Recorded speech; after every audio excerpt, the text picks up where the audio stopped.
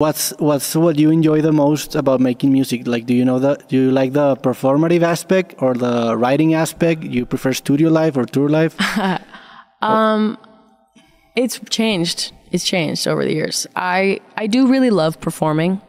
I love being on stage and I love performing my songs. I just I don't know, there's something really special about it.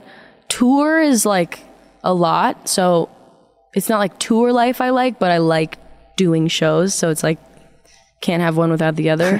um but in terms of making music, it's just really satisfying. It can be really it can be really punishing and challenging, but it's very very satisfying at the end. And um, I think that now that I'm better at it, I, f- I like it a lot more, Yeah. and I'm a lot. I honestly, to be real, I think that I always had it in me. And also, also when I say I wasn't good at it, like I wrote a bunch of songs Yeah. that we put out.